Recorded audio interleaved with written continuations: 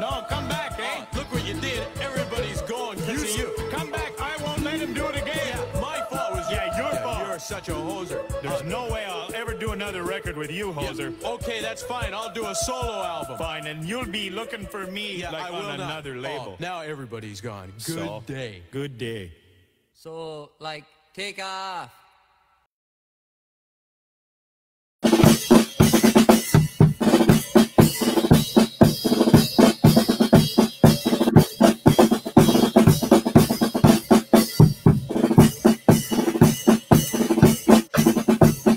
Me on the drums, eh?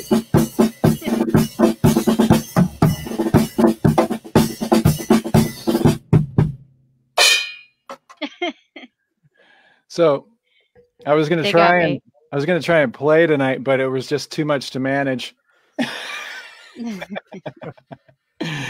like last week, you know, I was I had an idea. I had some different ideas for different shots and stuff, but there's so, right now there's so many uh, um, different interactions going on behind the scenes.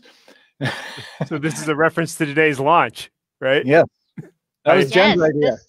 SpaceX launch today. I I um I I I was so thrilled by it. It was such a nice breath of fresh air to watch, you know, such um dork type of stuff. So I yeah, I was like, dude, Bob and Doug just, you know, took off. Bob and Doug. I couldn't get used to it. I was just sitting there, and every time I would chuckle when they say Bob and Doug, What are the know. chances, right? right? So, uh, welcome to Outside the In, everybody. We are the Travis Larson Band. This is our weekly webcast uh, during a time where we don't have uh, other things to do on Saturday nights. Um, because uh, you know we're all just remotely remoting and all that sort of stuff. So, um, thanks for joining us. We have, as I mentioned in all the posts and invites, a, an incredibly special guest later tonight. Um, we're going to give it a little time and catch up on some stuff from last week. Uh, but um, we're really, really happy about uh, our special guest tonight. And uh, Who is it's not Who a is? secret this time. it's not a Yeah, secret. It, y- we could, you know, you could go look at all the posts, or we could just tell you it's our friend Mike Keneally. Yeah. Um, it's going to be genius. amazing. Super genius. yeah. Speaking of Martians, right? Yeah. so um so later in a little bit here we'll uh we'll be meeting up with mike and we'll be getting into some some discussions about um our touring together whatever questions you have in the the chat feed um all that sort of stuff but uh but first we just wanted to check in with everybody for a bit here and uh, see how everybody's doing and um, we last week was so great with the questions i still have some questions from last week that i wanted to catch up on but uh, but first, just checking in to see who's with us tonight um, so far. Okay. Oh, oh, and now we have another announcement, right? Uh, we Okay. have uh, we have another world premiere video. Oh Somewhere. yes, that's right. The True, MTV world- World, Premiere Saturday Night, whatever the hell it's called. Yeah, it's the big Da- well, like back on MTV da- days where they used to have the da- world premiere videos. Yeah. So I, I sent Mike our last world premiere video, by the way, and then um, he sent me something that he was working on, and it was just like, holy, wow, Holy wow! holy wow. So uh, and it's out there now. You can check it out on his page and stuff. Um, but uh, we'll talk about that when he comes on. But it was uh, this amazing acoustic piece that he did Mm. remotely, much like we're doing the remote jam uh, band stuff. And uh, it was just, as the kids say, it was sick. Is that what the kids say? uh, they used to. They, used to, they like, might. They might ago. still do. My my reference for like what's hip is always Britney Spears. You know, we can't compete with the kind of hip uh, pop current pop artists like Britney Spears, right? used, Um, used to drive Devin crazy. Yeah. uh, Howard hey, Evans Hey, Hey, John, John's there. Goober, and Glenn and Wayne. Hey everybody, and Sue. Hey Sue. Joey says, "Hey, you host You're- Hey Jose. Sue says, "Moon, your hair is amazing." Isn't it though? yeah, It's amazingly something. last last week we were. Oh, there's uh, Howard. Hey, Howard. Yep. Where, He's catching up. pay attention, Or did you say Howard already? Yep. Yeah, Sorry, it's okay. my hearing. You know. Well, I have the bigger head. Remember, we just had this discussion. Right. I said my head is so big compared to everybody else. Should I sit back here? But So, uh, so Jen and I were talking. You know, last week she brought up the idea of show and tell, and um, so anyone that got the last joke that we just talked about, um, you know, we were playing Take Off with Bob and Doug because Bob and Doug took off today, and uh, one of the beautiful things about being in the music business uh, is one of the perks is that you get to do amazing things with people that like your music sometimes and they're all walks of life and that's the beautiful thing. It brings all the people together. And so well, our show and tell tonight um, we thought first of all i posted a video uh, reposted a video on my page earlier that you can check out after this webcast of us visiting uh, the nasa space center. But uh, we've we've made some pretty good friends there over the last several tours um, Jen and I have both been to the the Florida uh, out uh, Cocoa Beach Kennedy Kennedy Center, yeah, or Kennedy Space Center, Space Center. mhm. and then uh, the band um, several times has been through Houston now and uh, been able to go through and, and take different private tours of that due to the fact that we've made some friends there that like our music. So for no other reason, we got a cool insight into some cool stuff that people don't get to see necessarily. So um, should we, Jen, should we do the, a little bit of show and tell right now? Sure. What are you gonna show and show? Well, I'll get some stills that that were like you know private stills that we never posted. oh, You know from uh, from when we were there.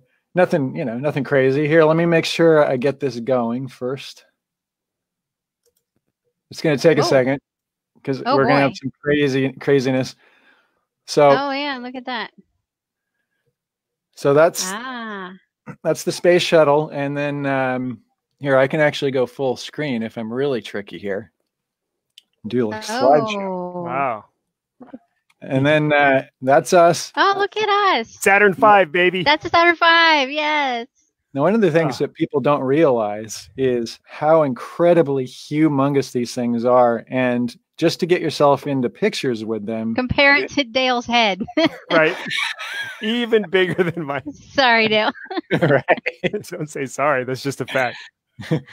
But uh, these things are like, I, I mean, you have no idea. It's like take several WalMarts in a row and put them together, and and you know put one of these things in them. Um, these burners are are like, I, I mean, you can't even describe. I'm pretty sure that's the scientific uh, name. The the burners. Yeah, isn't it? Well, they're was the so fun. rocket. What? Dale? I was just saying that was I was so excited to see that Saturn V for some reason Oh, with, with yeah. the classic space capsule and all that. So this is um, some some actually used spacesuits, I believe. Um, there's us on the space shuttle. They What were let they thinking? on there, What are they thinking? right? Like, yeah. Do you and- remember and- Dale when we were in there and you're allowed to touch all the little switches, Yes, which I yeah. was just uh, so excited about. And then I flipped one and something started making Yes, noise. And yeah. yes, I like how we just subconsciously reverted to van seating. Like, even though right, Like, it's you shotgun and me between the seats, like in the old days in the white van. right. Right. Right. Like, like you still. I mean, you actually have a seat now, but Yeah. You know, I remember too, Jen, you being just slightly disturbed with like walking away. You just wanted to flip all the switches and you I said was. that. I was such a, a, a switch flipper. Yeah, I was so into that. I, I was giddy in there. Switch oh my flipper. god. Your your fingers are like twitching and you're like, I just want to I just want to switch all these. Yeah. so this here, I believe, was uh, still being worked on at the time, but this was a futuristic Mars rover. mhm, Yeah. right? So when they go to Mars, um, this is not the one that was in Armageddon. This is the real one. and uh, again, talking about letting anybody in. There we are Oh. inside the actual Mars rover. And Jen took the middle this time. Yeah. Um, there's another cool spacesuit. This right here is the original mission control that you see when you look at all of the uh, the movies like Apollo 13 and um, uh, what's the Ed Harris one from the early 80s that Uh, um, right stuff. right stuff. Yeah, all that's that, that's the original and real actual control room, and uh, it's crazy to see all these analog switches and, and old tube screens and stuff, and think that they got people to the moon with these things. Stuff that's not even as complicated as our phones now. Like what I found dial. interesting what I found interesting too uh, during the tour with our friends there, they said that this is still up and running because there's still technology up there that they need this control room to communicate with. So, Huh. do you remember that? I don't remember that, but He said, oh, he said that yeah, they still have technology up there. They need these old machines with which to communicate um, with some of the gear that's still up there, wow. In that room we were in there, up and running. that room we're in there, it's not like a museum where they glassed it off. It's just that that's where uh, uh, politicians and family would sit and observe. So that it's not like they've just it's Yeah. just intact. It's what it, that's that is the biggest of all the things about that place. That's the thing that'll give you goof, goosebumps, or at least did Yeah. me. I was Yeah, just- if you were if you were Lyndon Johnson, you were sitting kind of up where we're standing, yeah, like and like when they brought in VIPs to watch the the launches and stuff.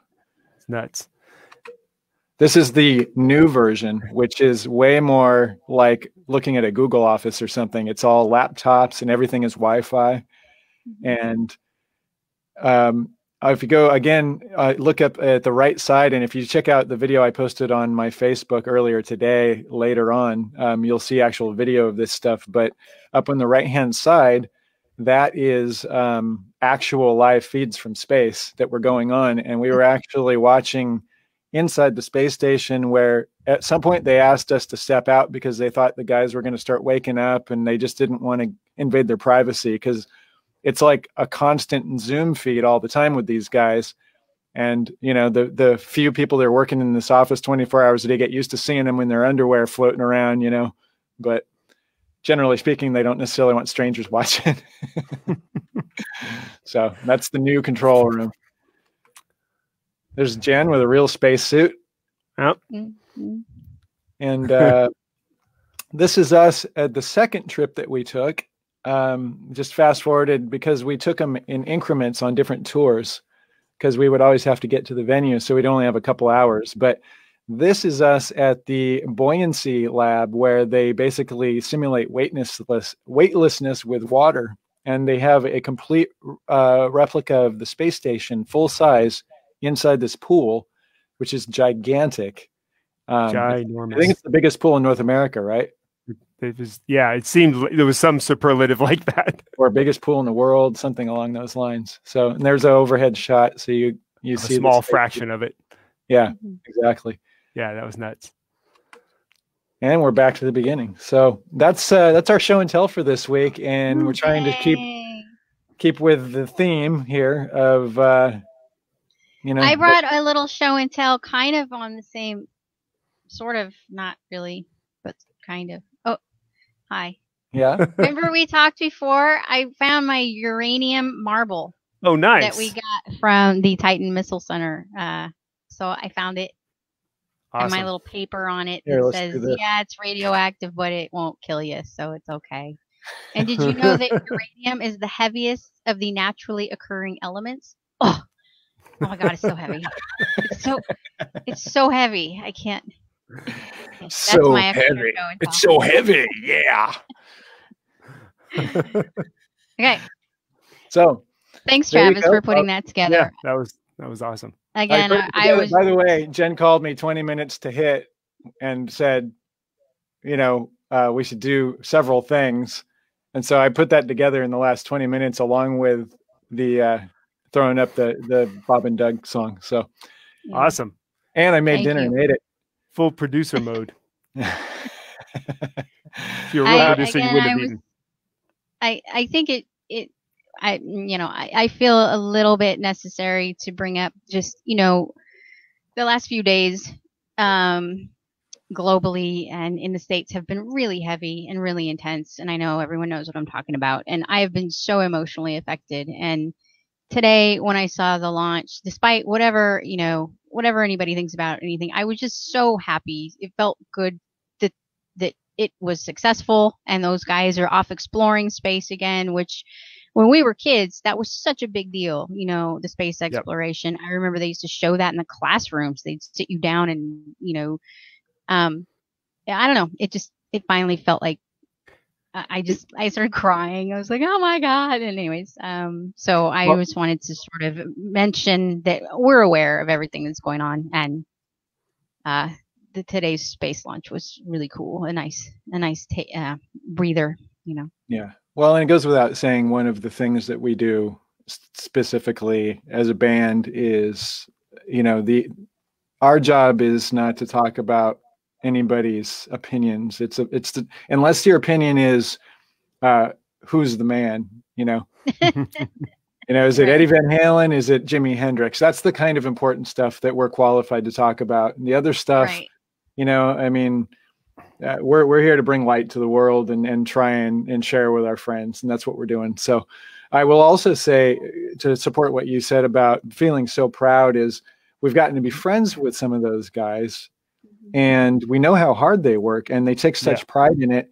And the interesting thing about the guys that work at nasa you know i'm not talking about how you know the stuff behind it all and whatever how how it gets funded but the guys that actually get into that if you've got the gumption to become a rocket scientist you know we've had these discussions with our friends there. It's you know you have the same kind of passion you have to become a musician playing music that's never going to be commercially accepted you know they they are very passionate about it and they got into it because they're just super excited and super nerds about doing that like like what you're talking about let's go to space how Yeah. cool Yeah. would it be if we could go to space like where well, let's go to mars we've never been to Yeah. mars you know and so that's who these guys are and that's what's really cool about it is um you know it's it's such a pure thing when you're dealing with the actual guys that get the work done and it takes so much to get there so many years of schooling you know again it's you know if you've got the passion to get that far to where you're working at a place like that and doing those kinds of things then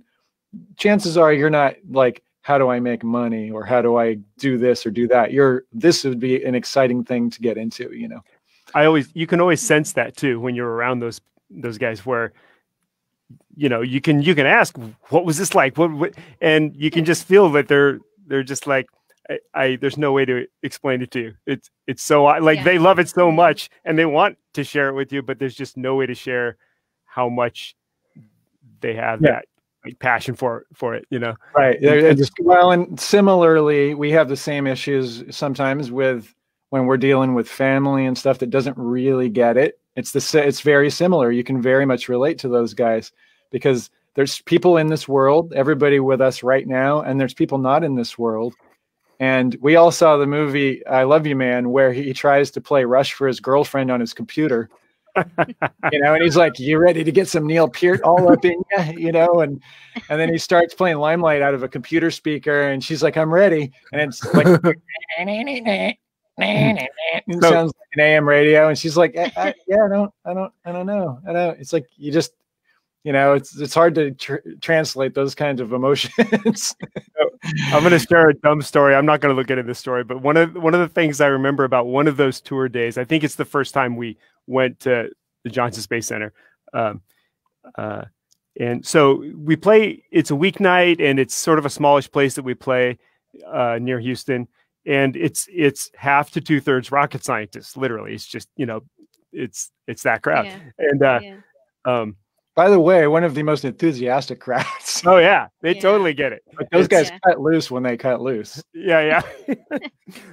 For guys who have to get up at three thirty in the morning to go to Yeah. work, guys and women. Sorry, I'm being uh, what do you call it? Gender normative.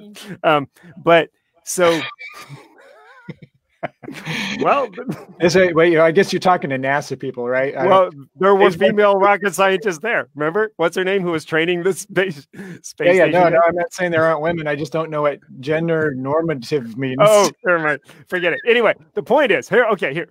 If you've seen Apollo 13, like there's there's just a super super sur- nerdy story about the space program where uh, one of those launches uh, from the Apollo 12 13 days whatever it was you know had an electrical failure and they're they're this is the highest stress situation and they're they're reaching the they're like 60 seconds or something. I'm going to get all the facts wrong on this. When they have to just abort the mission, and everybody's just so cool and so stoic, and nobody knows what to do. And there's this great story of this guy who remembers a, a training a year before, and he goes, uh, "Try SCE to aux," and everybody's like, "I don't even know what that switch is," and then they try it, and it fixes the whole problem, and they continue with it. And it's just one of these. It's the ultimate cool under pressure. I remember a detail from something a year ago, and it's going to save this mission story. So anyway, Yeah. when we were at Dan Electro's, something happened with this either your pedal board trav or my sampler. Something happened, and it was quiet in the room. And I went went ahead and just went, "This is this is my chance to use this joke, right? Let's try SCE to aux." And uh, and nobody, it was just kind of nobody heard it or something. And uh, but I was like, that was the one time in my life I'm going to use that. And then I I made that comment to somebody on a break. I said, "Yeah, I was up there and I said like SCE to aux. That was my chance to use that, but I I don't think anybody heard me." And he goes, one of our friends uh, said, "Uh, eh, we we heard it. We we just heard that." I go, "Did I use it right?" He goes, "Yeah, that was the right way to use that. We we just heard the joke." Oh, Right. wow. anyway, God. good thing I'm Um, not a stand-up. Tommy Quirk says, uh, he says, Have you guys seen the video of the NASA engineer versus the yard full of squirrels? He tried to build a squirrel proof bird feeder and ends up building an American gladiator, gladiator type obstacle. I saw I it. I saw it yesterday. Saw it. Yep. No, the best part is when he highlights how there's the part where he felt bad about it, so he he gently launched the squirrel and uh and he goes, you know, it only went four, you know, ten feet, and they jump further than that. And then he goes, and if to really make sure you are cool with this, and he shows super slow mo of the squirrel, and it's still on its upward trajectory, and its head locks onto its target, and it never moves again. It's like a gymnast when they spot their landing. yeah, he's like, it's like how a cat falls. He's showing how this thing never does, does not Yeah. land on its feet. By the and way, manages it manages its angular momentum with its with its limbs, like it Can I spreads its say- arms out. I'm not sure anybody has ever uttered the word, certainly not on this webcast, gently launched the squirrel. Yeah, yeah. Well, he was he was the guy who did that. Never mind. Wanted to make Are make there sure. plans available online for this squirrel launcher? I don't know. Just asking for a friend. the video's pretty in depth. Okay. I will Um, become aware. I'm not aware right now, but it sounds intriguing. Uh, I've got uh, should I, I've got a couple of good questions that we didn't get to last week. I'm wondering if I should maybe I should save one for Mike and we'll answer one okay. because one could apply to everybody and Mike might have an interesting answer. But uh, here's this is from Vincent from last week. Uh, he said, uh, "Did Hendrix leave an impression on you when you first heard him?" Um, so interesting. Here's my Hendrix story. Um, I I grew up in an era where we were we were you know it was the Van Halen era, so we were like one step past Hendrix, and Jason Hall is a guy we went to school with. He's here on Facebook, and uh, I tell him sometimes when I see him, I say, "Remember that time when we were arguing about whether Hendrix sucked or not?" Because I I was telling him in high school as a kid, I said Hendrix sucks. Oh, It was wow. like a guy that didn't get it right. Now that putting that out on this feed right now, there's there's some honesty, right? yeah. Um, but then, as I got older and understood, because I was you realize I was from a generation past that where guys were getting ridiculous. You know, you had the Dixie Dregs and Mahavishnu and Jeff Beck and Eddie Van Halen on on the commercial level of just changing the world, and uh, I didn't hundred percent understand. Number one. Uh, you know the the the soulful r&b qualities of what he did and number two just the innovation of you know because when you're a kid what you see on tv is him burning stuff and flailing around with his guitar and it's all the freak show and um, so i didn't get hendrix in the very beginning and i learned to get him and now i completely get it 100% to the point where i even hear guys you know iconic players obviously out there that everybody rips him off everybody so now i get it um hendrix I've had this.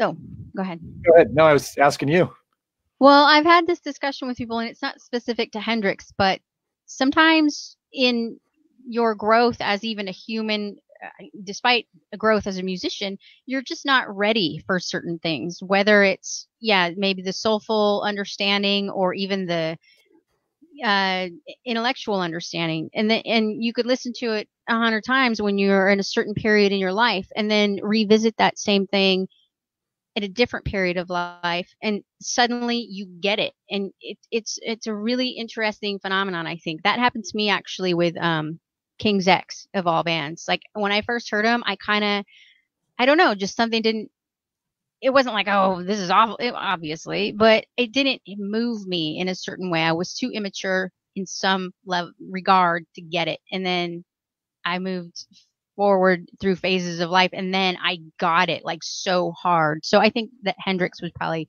one of those movements for you, you know. At least that's what you described. hey everybody my dad's calling me right now I You didn't- should should i take should i take the call uh, Sure, why not? Got to tell him you're on the air. Yep.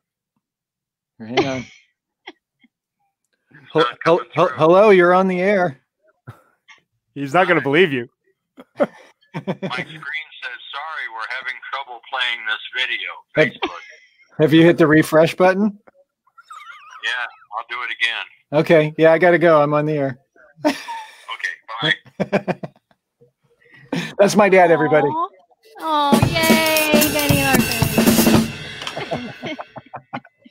That's great. I love oh boy Oh Um, boy. So anyway, uh, yes, that's a, a great answer, Jen. Sorry to interrupt. With the Nope, that was perfect. um, Dale, uh, your take on Hendrix? First time you heard him? M- my takeaway with Hendrix uh, is a little bit like what Jen said, but part of it is that I didn't have the context when I started hearing it of hearing what came before it and how he changed everything. Because so many of the accounts I read about people is I've never read so many stories from guitar players who go, "This album came out and my guitar teacher put it on and said everything's different now."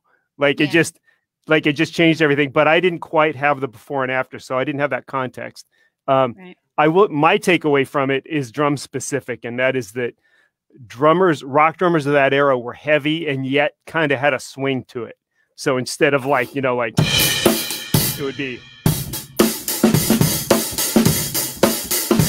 and so it would it would have a little bit of a lilt uh, bill ward was even that way sabbath was super heavy but it had a bit of a of a swing and same with uh, Ian Paice. In fact, I saw Who's the Man earlier, but uh, from Deep Purple.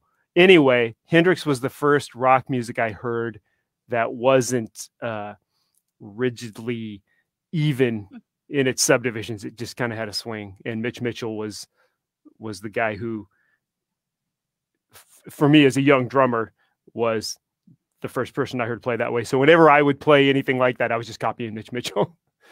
I would never say I sound like him, but it's uh yep, that's my takeaway from the Hendrix stuff. Gotcha. Um, Glenn says he misses Hendrix with the Monkees. I, uh, I'm not sure I remember that, but I, I believe I have the uh, DVD box set. So if that actually happened on the show, I'm going to go look it up. I do you have remember. the Frank- Monkees DVD box set. I do. You want to get into some of that? Yeah, that was. Uh, a Monkees marathon. Hmm. Okay. yeah, no, I, I've had that for a while, just waiting for the right moment. You know, Oh, that, that, that was one of those hand me downs from the big DVD hand me down session that we had couple of years ago. okay. So, um, we got a couple more minutes here. I, would- I was just going to say hi to Mary, uh, Mark Storm. Hey, Mark. Hey, Hi, Mark. Mary. Hi, Mark Marilyn. Hi, Marilyn. Hi to my dad. Hi, Glenn. Saw Glenn in here. um, I saw Julie earlier too. Hi, Julie. I saw one who's the man for uh, Satriani or Vai. Um, we obviously are not the ones qualified to answer that question, and I'm Yeah, sure the question cannot be answered. However, uh, we are getting close to having somebody that could officially answer that question. I have a who's the man for our guest when the time is appropriate. So I'm gonna save mine.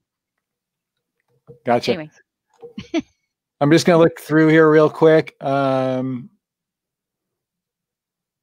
just to see if there's any uh, quick questions or comments. uh, Oh, uh, Howard says Hendrix opened for the Monkees. Okay. oh, Wow, Thank you, Howard. wow. Thank that you, had to be something, right? I mean, Yeah. like, like, would you want to be the Monkees in that instance? Mm. Uh, Um, sorry, I'm. I know it sounds like we're uh, kind of stalling for a second, but I can see uh, our guest is getting situated, and so I think I think I can introduce him. Um, uh, we've toured several times throughout the years in limited uh, amounts because he's so busy doing every everything else on the planet.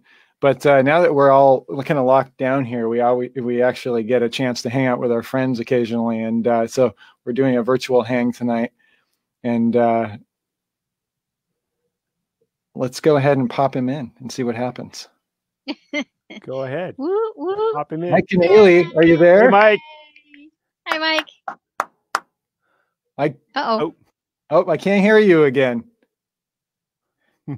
He has a little thing on his microphone oh, with. I got crotch you. on Hello, now I'm back. Hey, hey. I That gotcha. was you, Travis. Uh, No, it wasn't me. I think okay. Mike. No, that was it. me. I accidentally had had my thing muted because I was doing a bunch of junk. How are you? I'm good. How are you doing? We are. We're happy to see you, my friend. We um, It's so mutual. we we really were looking forward to this year of uh, getting in a van with you again and uh, traveling. I know. I, I really. We'll we'll make that happen for sure. right at some point when it's you know safe and ready but uh so i, I don't know if you caught uh any of the the webcast so far but we were talking a lot about space I was, and actually, the the uh, you talking about space, uh, and then I looked at the clock, and I because I'm in the middle of, of working on some recordings, and it inspired me to do a lead guitar track real quick. So I had to go away Oh, and and and throw down a track, and then Nice. I, Nice. and then I, I came back just in time, actually. so you're actually Awesome. productive in the last 30 Wow. minutes Yeah, uh, you're making play us all look I could bad. play you the video if you want because I've been I've been having to to videotape all the tracking that I'm doing for for various reasons. If we want. Hi, Grandpa. Video I videotaped it with my with my MacBook. did you get out your was it a vhs yeah Exactly. I got a VHS rig attached to the to the computer. Right Okay. i uh, actually I- okay. Yeah, am I allowed to? Am I am I allowed to acknowledge and respond to things in the chat?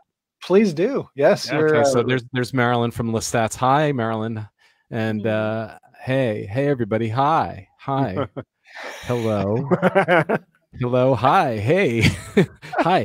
Uh, Mike, did How you Zappa have you doing? audition? Yes. What was that like? It was fucking ridiculous. and uh, am I allowed to cuss?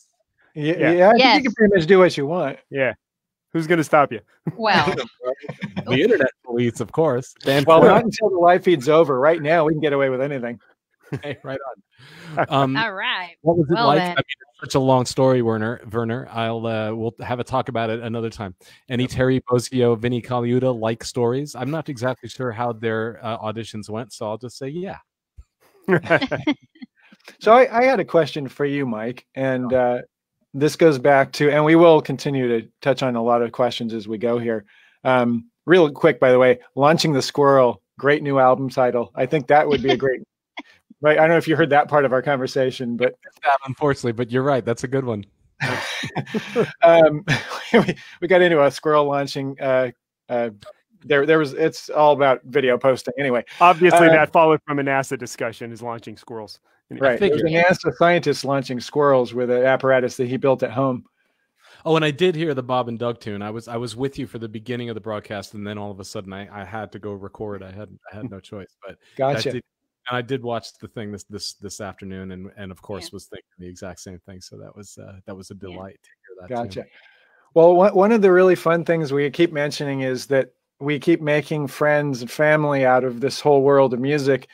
Um, and sometimes it's guys like you that we were familiar with before we got to be close with you. And so going back a long way to um, you know seeing you play with Frank and then having y- your own band and the level of ridiculous musicianship that exists.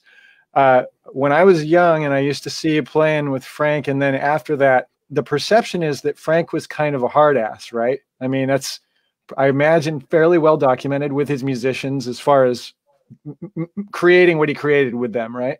Sure. Yeah. So, And in, so my perception, in some, in some cases, that's it's it's a justified reputation. Yeah. Sure. And, and and us as artists, I think we all understand because you look at the outcome of that and you you understand that you know even us having a band we're not always the easiest on each other but the outcome is what it is and at the end of the day you take a breath and look at it and go wow we did this amazing Right. so you as an individual as a band leader from one band leader to another um, my perception of you in your early years is that you were probably kind of a hard ass but In, knowing the, in you the 90s, I was, uh, you could just call it a dick. yeah. yeah Yeah. Is- yeah. I think that- I used do, to do be you actually more- acknowledge that? And I don't know that. I'm asking as a guy that just saw you. I mean, I haven't. It's not like Beller you and look, Joe you look like a dick. So yeah, yeah. Yeah, but, but but no, no. It's just a matter of the amount of the, the kind of music you're playing and the way that you guys pull that stuff off. You kind of, as an, another artist, you have that perception of, man, this guy's probably a, a hard ass in the studio and and working with his musicians. You know, I was curious, you know, how, how much of that's true and how much of it has evolved, maybe, or In in the in the case of me, in the case of you. Yeah, well, I think uh, probably right after, you know, it's, it's like I, so I, I worked with Frank just in the band really for a brief time. It was just '88, but then I stayed involved with the Zappas doing other things, and then I was in Dweezil and Ahmet's band for for five years. So I, I was like steeped in in Zappa-ness for for a long time, and I I think that in the '90s there is, I mean, Frank called an album "Them or Us" for a reason. You know, there there was definitely a, a, an us versus them mentality thing going on and it's not you know everybody's got their own trip but at, at the time i was like really enamored of so much stuff that was like zappa specific and i was like very i there was a certain amount of hero worship going on and there was a, a certain amount of, of like really being just i was dunked in his uh in the zappa mindset for so long that when i started like getting more into being a band leader and working with my own musicians yeah, in some cases, Frank was a hard ass, and I think I was inspired by that and ended up being more of a hard ass and more, you know, it's less considerate of other people's feelings than than I would be now because I, Mhm. now I've I've kind of come around to the to the idea that yeah, it's great to be a musician. It's great to have a body of work, and it's great to say, yeah, look at this this show we just did. But if you balance, if you weigh that against the fact that you were just like a raging asshole uh, to mm-hmm. everybody around you all day, was it really worth it? You know? Right. and Yeah. and and I have also come to the conclusion that chances are I would have been a better show if you hadn't been a raging asshole. There's there's mm-hmm. other ways to get those results than Yeah. being a dick. yeah, And Right. I, it's and I don't like being a dick. It makes me feel bad. Uh, so uh, I I prefer to be a nice guy, mm-hmm. and uh, and and I think everybody around me probably likes it better that way too. And uh, I've and- only ever known you as a nice guy. Just Yeah. saying. I would say Well- you're the least dicking band leader. Well, you're Yeah. you're you're lucky enough to have gotten on the the moving sidewalk of me after Right. I I'd, I'd worked through all that stuff. Right. Uh, so you know, it's I guess that answers your question. I have a tendency Yeah. to talk too much. Well, and and in We're good to defense of that, as another band leader, that you know, I, I think the perception is generally that I- I'm hopefully I'm a pretty nice guy, but I know what you're talking about based on the fact that you get tunnel vision. It's not always that you're trying to be inconsiderate. You get so tunnel visioned on the project at hand, Sure. and it's just and and everything is an obstacle, including other human beings, right? And that's kind of, you know, I mean, Yeah, but but I mean, I I as as I guess what I've been able to do is figure out a, a way to that goal in a in a in a more calm fashion. You know, be, be- because that's just what I carry inside me now. So it, it's like if if if I'm in the middle of of of working towards a, a goal, even if it's very complex and very detailed and intricate and requires everybody to like really bear down and do some crazy shit, um, I th- to my way of thinking, you're going to get there quicker if you keep everybody, yourself, and everyone around you with a cool head and laughing and having a good time, as Right, right. opposed Sure. to the thing of of let's all be tense now, as though that's going to help anybody be able to play some really difficult, fucked up thing if they're all feeling tense and angry because you just you know called them an idiot or something Right. Right. uh, I don't think you're gonna get. I mean, it's, I'm, I'm, I've never been in Yngwie Malmsteen's band, so it- You're it- right. it's like there- there's Right. there's all there's all different ways to go about this. Yeah. Um, but to my way of thinking, and to get the results that I want, because I'm more of a hippy dippy kind of guy, where I I like when everyone's having a good time and it's all flowers and rainbows, even though the music is often really weird and screwed up and abstract. Uh, just know that there's always like a hardcore hippie and at the center of it. right. Right. I'm Well, getting, and- my Yay. my uh, my picture's getting dark. I should probably turn on a light. What do you think? Uh, yeah. It's Absolutely. kind of cool, spooky shadows though too. I'm gonna Yeah, I'm but gonna here- keep it. I'm gonna keep it with this lighting until you literally can't see me anymore. but that, that would be such a Beller thing to do. yeah. to just sit no here in the dark. Yeah, because he doesn't like any lights on. When he was on, we were teasing him about that. Oh yeah, you're right. On stage, yeah. He, Yeah, that's he- like- he takes it very personally. The fact that people want to see him during the. Every sound check, it would be like, okay, let's get started on the lights. You know, so we were teasing him about that when he was on. But um, Yeah. just to clarify too, you never sounded, acted, and or looked like a dick to me. Um, Oh, good. I'm glad. I would. I will I even would say have- that. I'm sorry. I, I oh, was would going to say It's a fight. you. I was asking because I was asking based on my own insecurities of having, you know, not necessarily been the easiest guy in certain instances because of You're the still a tunnel young man. What are you? 20, 21? Yeah. He wishes. Go ahead, Dale. Sorry.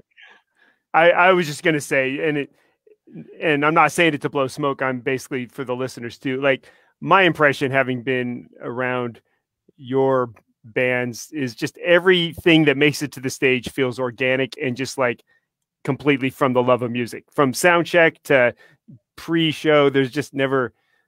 I don't know. I you're you seem like a guy who's doing what he loves and just trans just seamlessly the band works together. It doesn't seem like you're being a dick at all, obviously. Well, I mean, it's like it's it's a privilege to be there in the first place, right? To be able to Yeah. play music for people, and especially Exactly. these days, it's like I can't wait until uh, the circumstances allow us to just go out and play shows again. That seems like a miracle Yeah. right now, right? Yeah. so right. you know, but I've I've always kind of felt, but not always, but since I've like gotten my shit together to some degree, I, I feel like every time I, I go to a town to play a show, plus if I'm on the road with you, y- you guys are taking care of everything, right? It, it's like yeah, I would I would have to be truly the, the world's biggest dick to to to have any issues at all because you, you are making you're just laying out the red carpet for me. You're making everything so easy for me. And then all I have to do is like plug in and play a show for people. You know, it's like if, if the monitors are not perfect, I'm not going to let that ruin my life. I'm going to say anybody that doesn't think that way would truly be a dick. yeah. Right. Yeah. Well. No, but uh, you know, it, it's it's reciprocal, and I, you know, I mentioned you you were we were talking about this webcast in particular, and those that watch us know that the people that we're having on here are f- on here for a reason.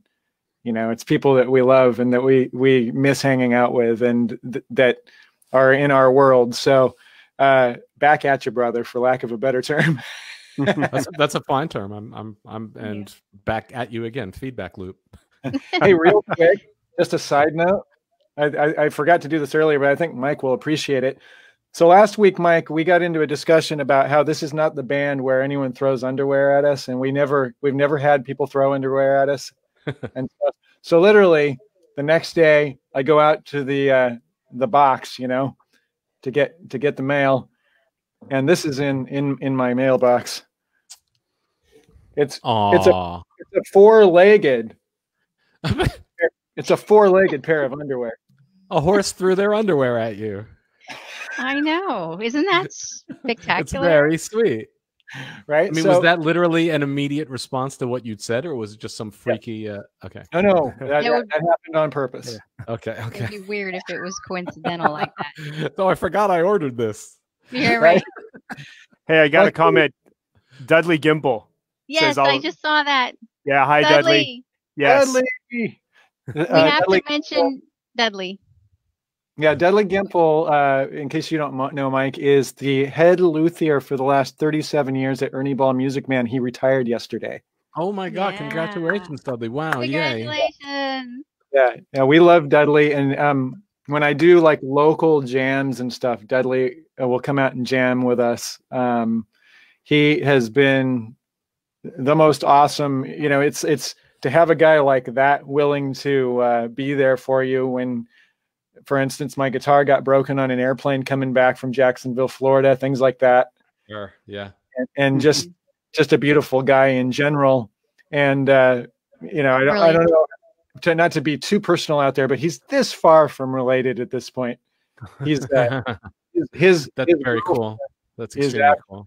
my sister-in-law's aunt. it's a Oh, small, That's that's related. I think that counts. sort of, sort of related, right? Yeah. So anyway, hi Dudley, great to see you. Hi, Dudley. Hi, and congrats, Dudley. That's extremely cool. Yeah. Um, I'm just checking out some comments to see if there's anybody saying anything. I see Mary. She says, "I, I, see have Mike." a question for Yep, Mike. I've been checking out your recent project with MFTJ, and can you tell us a little bit about that? And Yeah, just- that's actually what I'm working on right now. Is is is the second album. oh, Uh, good. Okay. We're already we're already uh, you know we've got a, a tracks in the works for this. Um, but I, I have like a, a, bunch of stuff that I'm working on simultaneously. But that's that's what I step away and, and play a solo was MFTJ too. But Okay. that's um that is a project that was uh, proposed and masterminded by Scott Schorr, who is the the head of Lazy Bones Recordings, which is a record label uh, you might recognize from uh, having put out albums by Marco Minnemann, a bunch of solo albums by Marco, and also the uh, the Tony Levin, The Jordan Tony- Rudess, yeah. Marco Minnemann Mhm. tribute. Uh, sorry, trio records that are on Lazy Bones. So Scott was uh, a like executive producer, producer on on those recordings. And a few years ago, he was living. He still is living in Australia, but before that, he was living in New Zealand. And and I was there on a Satriani tour, and Marco introduced me to Scott. Said this is the guy who's putting out these records. I was impressed. Out an album called Eeps. I don't know if you remember that album oh yeah, sure. Yeah. Of course. Mar- one Marco's reason why you yeah. go, oh yeah, sure, is because Scott was really good. Scott Schorr was really good at promoting. He, Mhm. On Lazy Bones, he like immediately got a bunch of uh, promo videos out, and you know it was like you couldn't avoid Marco Minnemann Eeps for a Mhm. couple of weeks. Right. Uh, so you know Scott just like knows how to use tools to, to make people find out about things. So I had dinner with him, and he was a cool guy. And and after knowing him for a couple of years, he just proposed that we do something together because he's a musician as well. He plays drums and bass, and he sent me all these rhythm tracks. And I went in the studio and improvised over his rhythm tracks. Sent him back those improv tracks. He sliced and diced them, cut and paste, and made uh, you know licks and motifs and grooves and and you know hooks out of all this insane shit that I had played. Then he Yeah. sent that back to me, and I did another round of improv over that, and then sent that to him, and he cut and sliced that up, and, and ended up with what you hear on the record. So for me, it was literally two days of work, and then the rest of it was Scott going nuts. So you know, uh, when I got this this uh, studio together, that after I got we all got sent home from the the Devin Townsend tour in Mhm. March, and I suddenly realized I got busy here. God only knows when we're going to be able to start doing gigs again. And I Mhm. went on GoFundMe, and people were extremely cool, and they allowed me to uh, piece together a recording studio Mhm. and uh and now i'm tracking like all the time and working on the uh, scott schorr has sent me another 11 rhythm Wow. for the next uh, mftj 2 record Nice. uh now that i am like for the first record i actually had to go to a recording studio because i didn't have any means of doing Oh. stuff at home for this record i'm home so i'm i'm uh, not just like improv blah, blah, blah, next you know on, on on this album i'm taking a little bit more time not as much as i would take on a solo record but but focusing drilling down a little bit more coming up with harmonies and and uh and doing you know slightly more organized stuff to present to him and Yeah. then still i'm i'm i'm just placing it in his hands and whatever he does he does that's the nature of the collaboration and i'm not That's so cool. yeah so were fun. you completely floored by what he came back with, or did did you have any expectations? I didn't recognize one note that I had Okay. played. Wow. It was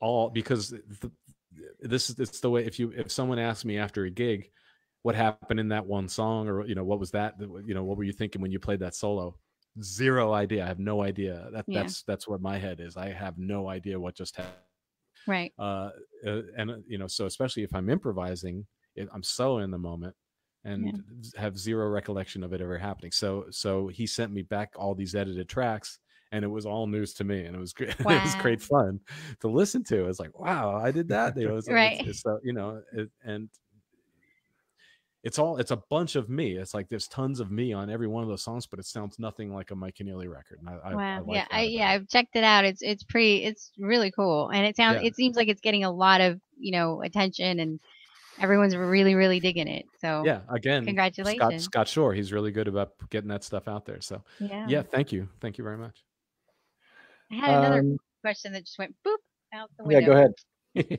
Well, it went boop out the window. Oh, oh, okay. We'll have Um, this respond beep nice. I, I had one here that um, oh, where did it go? Shoot, they're popping up like gangbusters. Yeah, yeah. Julie on. Cord says, "Ooh, Mike, answer this one," but I'm not sure what it's in reference to. to the one above it. Mike, did the Mistakes ever tour, and are you ever going to play with Andy West again? Mistakes, Ah. which the Mistakes is, is a band with me, Andy West, Henry Kaiser, and Prairie Prince. Oh we man. didn't tour. We did not tour. We did two shows in the in the '90s, right after the album came out. The album came out in '95, and then we did a show at the Great American Music Hall in San Francisco, and a show in Santa Cruz, the Catalyst, I think. And uh, and Buckethead uh, sat in with us Oh nice. and and both shows were recorded live. Uh, Wow. And That, by the uh, way, was my question. Cheryl asked what it was like to play with Buckethead, so you just ushered Really? that. Right. Yeah, that's freaking weird. Yeah, Right, I saw that It earlier. was, it, it was amazing to play with Buckethead. Actually, um, after I answer this question, I might turn on another light. It's getting Okay. really moody. right. it's a little moody. the witness relocation program. Yeah. We need to lower your voice so it's Yeah. like. "Oh, right.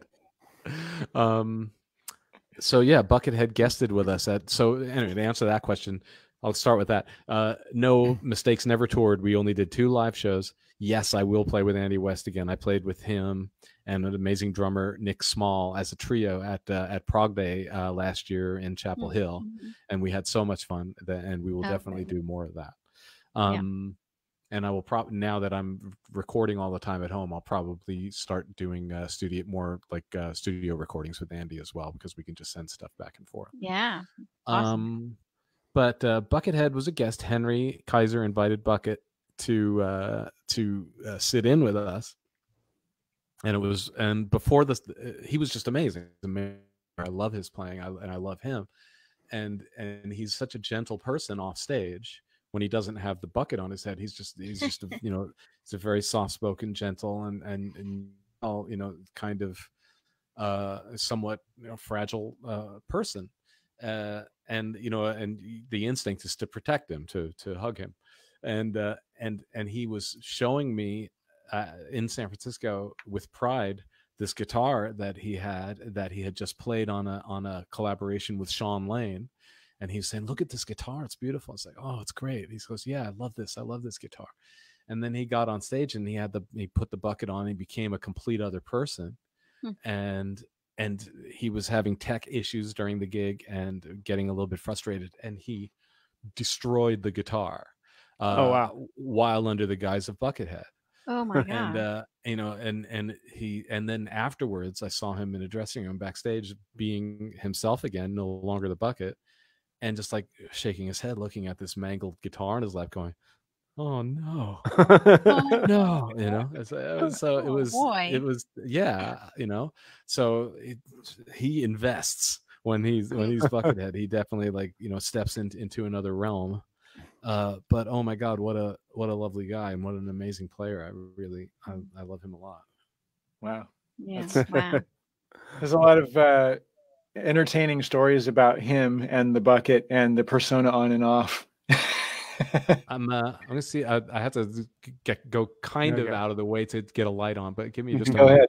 Harold Skeet is here. Hi, Harold. yep, saw that. Hey, what's up, Harold? Harold. Harold says, "Love Andy West." Um, I'm just going to mention, uh, so the first time I ever actually played with Andy West was also with Mike. And too. um, That's right. Cruise control. yeah, uh, Andy, I've told the story before. A quick version of the story, while while the lighting director gets settled, is uh, Andy was coming out to see us in Phoenix several times in a row. Yep. and uh, what he came out to a clinic. I don't know if you caught this, Mike, but Andy came out to a clinic to see us in Phoenix once. I think it was at a Guitar Center or Sam Ash, and uh, he had come a couple of times, and we were starting to get to know him a little bit. And there was a guy just tweaking in the front row of this guitar clinic, and uh, he was like talking when it wasn't appropriate, and he was oh, like oh no. and making noise and being obnoxious and it went on and on and on and on and i was like jedi mind tricking to the umpteenth degree you know you know what i'm talking about when you're on uh-huh. stage and you're dealing with somebody like that Yes. you just every every single synapse is now clicking on how to control this human you know yes. so yes. so Andy was sitting in the back watching the whole clinic, and uh, I kept looking at the store guys, going, "Is somebody gonna? You want to help me get this guy out of here?" The audience is starting to tell the guy, "Just get out of here, man!" Like it's starting to get, it's completely disrupting the whole thing. right. And and Andy is the only guy that gets up out of his seat, goes and gets the manager of the store, and says, "If you don't kick this guy out of the store, I will." Right on. yep. And then That is- they, they Andy. went and took this guy. So after that, of course, being a kid that grew up on the Dixie Dregs, you know, I'm just like, holy crap, Andy West just saved our asses, and he's the most awesome human ever, right? Yeah, he's he's like cool in more ways than you even realize completely. Yeah. Yeah. Yeah. And then uh, we were just mentioning the first time I ever actually performed with him was with you, with the whole thing we When- put when together we when we did uh, The first X Jam. the first X Jam, where he was getting his feet wet, trying to decide whether the dregs were going to do something again. Oh right. Yeah. Yep. They Yeah. So he came up to me after that show and had his iPhone and showed me a picture of all the guys at Steve's barn and said and I was like, "Holy crap." You know, and he goes, "We're we're talking about it." And so obviously hmm. you, you go you start realizing I see what's going on here. Like he has like, I haven't been on stage in years, but all of a sudden he's like, "Hey, I want to get on stage and I want to play a drag song with you guys." That's wicked. I remember really, really cool. that was you could feel the energy about that turning into something that was going to be important to people at that NAMM show that Andy was there and then you know Yeah. Andy Timmons and you Mike and and so we were sound checking that and I had come down a day late and you guys had gotten together at the Blue Mouth I think dinner and there was a there was an understood uh, arrangement of that song and I hadn't gotten the memo so I blew through something and then we stopped and and you explained oh no we did this and I remember saying something like oh okay great and you cued me and I said you know if if you have the the wherewithal to do it in the show I'll I'll remember this but go ahead and then I immediately wish I could just take it back like like you don't have anything else to do except play Steve Morse parts with Andy Did I remember? Did I remember to totally you? totally I I did? I, I'm I see phone myself. cameras of that and you're like with a smile on your face like a nice guy you're like and I'm like like you did not have I wish I could have just never said that at the at the moment like uh, that was dumb to ask him to do but you totally remembered Well, if I hadn't, who God only knows what would have happened. So Yeah. I'm glad you There you go. well well the, well the point of it was it wasn't that hard either I could just Oh, be I see. responsible for it right. Dale, you loser. No. we do a thing on here that our uh, our fans know about, and uh, there's already been several posted. But um, we do a thing called "Who's the Man," which is basically like a this or that. The premise, Mike, is who's the man? You know, Sammy Hagar, David Lee Roth, those kinds of things. Oh, I You know, see. Keith or Mick, who's the man? So there was one earlier. I'm not even gonna like put you on the spot to acknowledge, which was Joe Satriani or Steve Vai. I you you can't answer that, Correct. but yes, I have one. I, I have one as well. Okay, you first. Uh, well, this this is kind of I, I, this is something I figure that m- m- it's safe, and Mike might have an opinion on it. He just strikes me as the kind of guy that would have an opinion on it. Who's the man, Max von Sydow or Ian McKellen? Max, but, but and there's a strange brew Bob and Doug uh, tie in there as well. You're right. Um, but uh, and and again, uh, you feel bad, right? Because there's there's nothing wrong with Ian McKellen. Ian McKellen is brilliant. But yeah, Max von Sydow. right, Jan. that Uh, yeah, I agree. I think I'm a little out of my league with that one. Yeah. As far as who's the man on that one, D- Dale. He's like, I don't know. I, I'm tied, but uh, I was gonna say, Mike, that that is the nature of a good "Who's the Man" is you can't. It's a tough one. Yeah. it's a tough Yeah, one. yeah, no, that's an excellent Who's the Man. They're Okay, both so the men. But you I have one. another who's the man. If we want to move along with that one, Sure. Trav, what's your what's your take on that, Max? And Max von Sydow. okay, Yeah. Yeah, There I go. could crush your head like a nut, but I won't because I need you. Mike, Max von Sydow, by the way, slight resemblance to Thomas Nordegg, just slightly. You're not wrong. I knew who you were gonna say. Yeah. I mean that with all the love in the world. I, let me interject before we get to Jen and just By say, the way, Thomas Nordegg is the winner of any Who's the Man battle. Yes, this he is true. the man.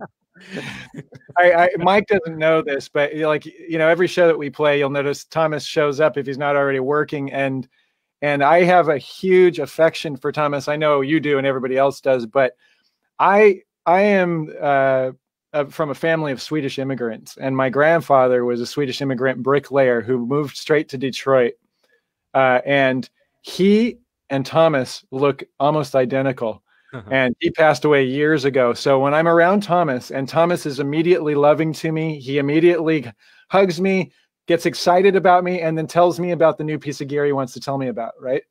Yeah. And that's what Yep. that's the move. It's like, okay, now let me tell you about this. but Yeah. it makes me feel like I'm standing with my my grandfather a little bit every time I see him. So I really have a, a love and affection for Thomas. So that's Did I ever did I ever tell you the Thomas Nordegg Matt Groening story? I don't think so. Okay. Can I can, can we take a little intermission from Who's Yes. the Man? Yeah. Yes, yes. Tho- Thomas idolizes specifically Bart Simpson. Like it, it, it- he thinks Bart Simpson is the the like the the Is the man. That's what we all should aspire to be, and uh, and uh, but but he has great admiration for Matt Groening, and uh, so in 1998, I was uh, doing a show with Beer for Dolphins at the Key Club on Sunset Hmm. Boulevard, and and Thomas was working the gig, and we found out that Matt Groening was coming and uh, and we said we we can't let Thomas know that Matt is going to be here because Thomas has idolized Matt for years and has always wanted to meet him, and and I I knew it would mean a lot to Thomas. So so we do the show. Matt's in the room. Thomas doesn't know he's there. Show's Oh over. Thomas is is uh is pulling down the gear. You know, there's a, a disco starting in 20 minutes or something, so Ah. he's got to get all the shit off the stage The and I'm Club, trying to yeah. get I'm trying to get his attention, trying to distract him from his work, which you don't do with Thomas. If he's working, he wants to work. But I'm like, Thomas, I need you backstage. I absolutely have to. You, ha-" but he's, and he's like, No, you don't understand. I have to. I have to. I have to just. You know, no, you have to come with me. Let's. We're going backstage now. So he's like, Okay, okay. You know. It, uh, so he puts down whatever he's working on. He follows me off the stage. We turn the corner. We we go backstage, and immediately Matt Groening is standing there. Wow. Thomas, Thomas looks at him. and He just processes it for about three seconds, and then he goes, "Okay, now in episode twenty-two of, of, of season three, Oh my It god. just starts drilling him with questions right away. He, he he understands this is happening, this is real, and then because he's in a hurry, he just Yeah. you know gets right to the matter. It, it was it was a Right. beautiful moment. It was Wow. Oh my god. moment. Okay, That's And- now we get to that is more. what being, you know, that's what the music world is all about. that's Those what, moments. That's what being the man is all about. right? Yes, yes, yes. We would never put Thomas in any comparable category. Category. We call those the incomparables. You know, there have Yeah. been some, He and is that. Thomas is He one. most definitely is that. That's great. Um, I I don't know if you want to do another Who's the Man. Okay, I'll do Yeah, mine. Go ahead. I'm like, okay, I don't know. Oh. Uh, okay. Herbie Hancock versus Chick Corea. Oh God. Well, let- I'll, Right? You you guys weigh in first. I will say, as a player, Herbie Hancock. But then there's all the the great Chick Corea. Oh my god! I god, know The- a the- bit. the Herbie stuff with Miles. Yeah. That's where I'm gonna land. But how many? Yeah, uh, you, you guys go. I first of all, uh, Mike may or may not be impressed by this, but I remember seeing Herbie Hancock and Chick Corea jam on the Merv Griffin show. Oh, right on. Now, this is one of those things that tells you You must have been very young. the world mean, has you- changed, right? You watched that on TV? I watched that on television. Nice. Channel 11, tube television. Um, now the thing is, that was a different world. So that's that's part of the effect on my DNA, right? I mean, Right. I I I you know, it's like Jeff Beck and then, you know, Van Halen and all that stuff was happening. And of course, every kid in the world was affected by that. And then you saw these two guys on national television jamming, and you're like, what is this? And it's Yeah. like, you know, nothing that you could even get played on a radio station now, right? Of course, right. Radio So- station. So they, uh, I mean, I'm going to go with uh, Dale, although my first record of the two, I think, was Chick Corea Electric Band, maybe. Yeah, Okay. I've probably But been more affected by Chick. Herbie just because I, I saw Herbie uh, two years ago, I think, and um, Nice. he's just so unbelievably ridiculous. It's and I love Rhodes, you know, I I, do, I love the Yeah. vibe. In Yeah. the comments, everyone's saying tie, dead heat, tie, tie. One guy one. says Corea. Jeff says Corea. I've Yeah. probably been more influenced by the music of Chick Corea just because there's so many great players. Like, Right. but, but I don't, I don't know. Yeah, Jen, but where where where do you land on this? I don't know. It's I I feel everybody's um opinions here. I Mhm. I think I have personally been more moved by Herbie Hancock over the years. But I think that's just plain old um ignorance and I hate to say that. I'm not as You're um, so schooled- ignorant by being moved by Herbie Hancock. No, no, I mean I'm not as I'm not as just you're just not as as- familiar with as much of Chick's Exactly. stuff. Right. Exactly. Um, I was hugely into Chick Corea as a teenager. He was a huge, I'd say he and Keith Emerson, and I'm an, I was a keyboardist before I was ever a guitar player. Yeah. Chick Corea and Keith Emerson were the guys for me. Yeah. And uh, the Merv Griffin thing is cool. I actually saw Chick Corea and Herbie Hancock live, probably at the same time they were they were doing that Yep. Merv Griffin show because they were they did a Wow. duet tour right. and then and then they you know came out with a couple of live albums from the tour so i saw that tour uh in fact i think some of the show that i saw is on an evening with chick Corea and herbie hancock uh Did they have a band on that tour?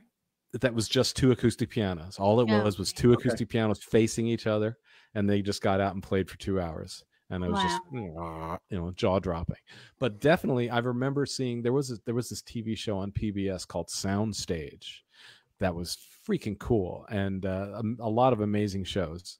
And one of them was return to forever and headhunters like Oh half and half. Uh, and it was it was one of those mind-blowing things and in fact that was my introduction to to both of them but at that age like which i was probably was 74 75 uh, so that meant i was 13 and as you know a teenage guy is want to be i was like i was attracted to the high energy i was attracted to the to the fast notes i was attracted to you know chick corea and al Meola playing these insane lines in unison i was attracted to stanley clarke playing the fastest electric bass than Mhm. anyone had ever heard all that Right. stuff makes a big impression on a teenage kid who's into flashy shit so Sure. i was i was team corea team return to forever when i was uh when i was a teenager and then it wasn't until that I was in the 30s, in my 30s, not not the roaring, Not the, the not formerly the roaring 30s, uh, uh, you know, my own my own personal 30s, that and and I and I entered my jazz phase like in earnest. I've been the whole time I was going through my 20s, I was collecting jazz records and not understanding them in a way. I had like a, mm-hmm. a thick stack of Miles Davis records, and you know, I was always more of a fusion guy and obviously a prog rock guy. And then I would I would collect Coltrane records and Miles Davis records and Charlie Parker and Thelonious Monk mm-hmm. and Charles Mingus and all mm-hmm. this stuff because I Mhm. know I should, but I, it, I, I I wasn't I wasn't getting there yet. And then it wasn't until I was in my 30s and going and hanging out at Joe's Traver- Joe Travers's place a lot, listening to uh, a lot of Coltrane, a lot of Miles, and a uh, a uh, uh, this box set came out called Miles Davis: The Complete Live at the Plug Nickel, 1965. It's December Wow. 1965. Seven sets complete in, in two successive nights at this Chicago club called the Plug Nickel. It's the best thing mankind has ever done. humankind, I should say. But, uh, uh, and and they, it's just amazing. And that's when I discovered what Herbie Hancock is about. And Yeah. Chick Corea is truly brilliant. Chick Corea is an amazing musical mind. It's insane what he's capable of. Right. And all of his and I had all of his records. I had you know I had all the Return to Forever albums and you know and a bunch of Chick Corea solo records and I you know ate them up. I loved it Mhm. but then listening to what Herbie Hancock was doing on an acoustic piano, which is still my preferred means of delivery for Herbie Hancock. I love his synthesizer stuff, but Herbie on an acoustic piano is everything. Yeah. And uh, there's this beautiful story that Miles Davis tells about, you know, they would do, uh, they would play My Funny Valentine. And he's talking about every time we go to Japan, there's a certain kind of listener there. I think it's Japan. No, maybe it's Germany. I have to find the the, the interview. But he says all of a sudden it's like Rachmaninoff's third piano concerto, and it's, it's my funny Valentine. You know what's going on here? You know, it's just like he when when Herbie would know. Of course, he was very young at the time. But it's like, but when Herbie knew that there was a certain type of listener in the audience, he would just Yeah. go off. Right, But- right. Yeah. But uh, you know, there's just like he had Bill Evans in his playing, and he had Bud Powell in his playing, and and the Thelonious Monk in his playing. It's just like Yeah. all of these influences being filtered through this young, studious, incredibly you know skilled musician. And but at the way it comes out, and you know, Miles was just what a band, right? Ron Yeah. Carter, Yeah. Tony Williams, Wayne Shorter, Right. Herbie Hancock, and Miles Davis. It's Yep. the best band of all time. Period Right. Right. Yes. and uh and and they're all and, and this late 1965 recording at the plug nickel is just a peak uh a, a thing a thing of just inter just interaction and esp and Yeah. communication and Yeah. the vibe you just you, you listen to it you can smell the room you know it's just it's Mm. incredible Mhm. and and herbie hancock is just godhead all the way through this thing nice. so herbie Mhm. hancock Nice. So but I did once visit uh, Chick Corea's house and watch Oh. him watch him jam with Stevie Wonder for 90 minutes. Holy Are you shitting? I'm not kidding. So that was crazy. again, the magic of music and the places it puts you, right? Wow. Yes. Were I'm you just like sitting there on the couch, like was on the floor. on the floor? Yeah, just nailed to Better the yet. wall going, I'm not even moving. I don't want to like interrupt the energy in this room for one oh my god! second. It was Wow. just crazy. And- oh my god! and Chick has that kind than, Stevie more than held his own, by the way. He could he was like Yeah. uh, when he's just like sitting there improvising with Chick to bounce off of, stuff comes flying out of him that you, I can't could- even couldn't fathom. even yeah wow, wow. Yeah what year was that roughly? 1989 or 90 Oh my god! which Wow. was uh, because uh, there's a, a writer, a journalist in San Diego named George Varga, who Mhm. writes for the San Diego Union Tribune. Mhm. Uh, wonderful uh, music writer. He's done a, a million amazing interviews and articles over the years, and he's a pal. And he doesn't drive, so very frequently he would call me up and say, "Hey, uh, Keith Richards is playing at the Universal Amphitheater next week. If you want a ticket, I need a ride." You know, and that's and uh, I saw so many great shows. I met Chris Nice. Squire. I saw uh, Oh, nice. uh, Larry Carlton. I saw The Who uh, because George Varga needed a ride. Oh my and- god! And, That's uh, awesome. And then and then he said, "I'm I've they've I'm I've been hired to interview Chick Corea for." An, uh, an interview segment on a DVD that he's making. Oh, this is 1989. Maybe it was a VHS. It was some kind of video. Yeah, I think that was pre DVD, wasn't it? The late 80s. Mm, Yeah, I think so. Okay, yeah. yeah. So it was a VHS. Anyway, uh, uh, the, George had been hired to interview Chick Corea at his house. So I drive, I drive George to Chick Corea's house, and I'm hanging out. And and Gayle Moran, who was the keyboardist in Mahavishnu Orchestra and in uh, Return to Mhm. Forever for a time, and was married to Chick. She's there preparing food. I'm hanging out with Gayle Moran in the kitchen Oh while my while uh, while George is interviewing Chick in the backyard, and then they say, let's uh let's go into the studio and we all go hang out in chick's studio and i you know chick is just you know playing playing keyboards for the camera and i'm sitting against the on the floor against the wall just trying to stay out of the way i'd had you know nice little interactions with chick and he was cool it was just very soon after the zappa tour so we talked about frank a little bit Mhm. and uh and then I see people just kind of like there's like hubbub in the background. No, like right. stuff. So what's going on? What's happening? And then fucking Stevie Wonder walks in. like, hey, everybody. And I was like, Yeah, plaster yourself against the Yeah, wall. Yeah, Oh my and, uh, God. and and then he sits down. It's like, "Hey, Stevie, how you doing? Hey, chick, how's it going?" And then they just start talking on their keyboards, you know, and they just jammed out Oh. for an hour and a half. Hmm. Well, you- they do you should have it- let you speak a little bit on the keyboard too. No, Yes, I was not you ready. are I was amazing. not ready for them. Well, maybe you know. I'm sure. I'm sure you put So it. here's an interesting thing that you spoken bring up. Mike, based on that story is going back to kind of where we started with all this. Um, it's like I don't ego isn't necessarily the right word. Obviously, there's a, a respectfulness and a hierarchy of the music world, but have you ever been just tongue tied meeting somebody like that to the point where you just you just shut down a little bit because it was like it's so inspirational to you. I mean, you walked into Frank Zappa's house and, and played, auditioned for him. So, at what point are you frightened by somebody? You know, I would, s- I would say that that was a, like a catalyzing event. It was a rehearsal room, and and and the fact that he put me at ease right away, and that I had and that, he, and that I had idolized Frank above all others for many years. By the time I got that audition, the fact that he was cool right away kind of uh, set me in good stead for the rest of my life and and i Mm. and i you know obviously this is it's it's a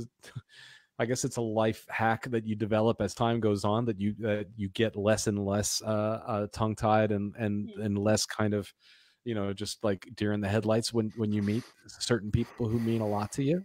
But for many years, Todd Rundgren was was the one, and uh, that I would have a hard time just being myself in his presence because he was a, just another huge one for me. Uh, Mhm. where it was uh, just like very very difficult to to feel at at ease in his presence and uh and i was friends with like everyone in his band so i would get in uh, invited to see his shows very often and and in one instance i was i was hanging out with lyle workman who was the guitar player in todd's band at the time brilliant brilliant amazing composer guitar player and uh, and he and I, I just happened to be in San Francisco on a on a Dweezil tour, and I was hanging out with Lyle, and and it was Halloween, and and it was a night off, and he said, "You want to just like hang out with Todd and Michelle? Uh, they're, they're gonna like w- just walk through San Francisco all night, enjoying everyone reveling for for Halloween." And I'm Yeah. like, "Sure." So it, it- Todd was dressed like Michael Jackson, and and all we did for like four hours was just like weave through San Francisco, just go through like uh, uh, the crowds of people on the street, you know, walk into people's homes where they're having parties, just like this Wow. Strange guided tour through Halloween in San Francisco. And Wow. I don't what- think I, I don't think I spoke one word to Todd the entire time. And the only and the only thing that Todd said the entire time was like every 15 minutes or so he would just quietly go hee hee hee. so was Are you serious? I'm 100 percent serious. He did not say a word. He was in Michael Jackson He was Michael. Yeah. and and he, he- he just wove through the town as though he were Michael Jackson, experiencing Wow. everyone else's Halloween, saying not a word except occasionally he would just quietly to himself almost go. "Hee hee hee." well, as a band that is historically way deep into Halloween celebrations, we completely understand that kind of character. Yes, Yeah. Jen. I have a question. What were what were you dressed as? It was. I didn't have time to like get into it. Uh, It was. Be, I didn't intend for this to be. I thought it was just going to be Right. night off, and then all of a sudden. So I, I don't think any of. Uh, I don't know. I might have. We might have stopped at a at a convenience store to pick up a mask or a hat Mask, or yeah. something like that. Right, I have right. no okay. recollection. okay. Uh, but anyway, uh, so I, I I would still like occasionally meet Todd backstage at his shows through being friends with his band and stuff, but I never really felt myself, never really felt comfortable in talking to him until the night that we got high together, and I was able to have a decent conversation with him for once. Uh, You know, it was just you know uh, just you know being passed around in the dressing room and and and. It, all the reservations melted and ev- ev- Hmm. we were able to speak with with greater ease and i was able to tell him what he meant to me which usually is what is the issue with those things right Yeah. when you're Right. having trouble talking to someone it's because you don't feel you can express it to them Yeah. what they mean to you and Right. and so finally, this was the night that I was, and he knew who I was. He knew what I'd done and that I played with Frank, and and he had heard my music and you know and expressed that he liked aspects of my music and stuff. So you know we had it's a budding kind of relationship going on, but I still found it hard to just speak to him until Yeah. until you know I, I was I was able to let some defenses down and say because I was saying goodnight to him, and and then I said, you know what, uh, when I saw I was when I was 12 years old and I saw you on Don Kirshner's rock concert with Utopia and you had this rainbow hair and you played, you know, the the the Utopia theme and it was mind-blowing and and you set in motion repercussions in my life which I still feel to this moment. And Wow. he, just, he just busted out in a huge grin and he shook my hand and that was it. And it, and and we've been totally cool ever since then. And now we're writing like a, a, a theatrical piece together. Wow. That's So- am- amazing. So, uh, but yeah, I- and at and at this point, I don't think that there's too many other people that like would throw me for a loop. But when Sting showed up for a Zappa concert in 1988, that was like something, you know, uh, that that that would that kind of uh, I was that that gave me pause for a moment. But You're then right. there was a moment where Sting and I were the only people in the dressing room, and Sting was scared shitless.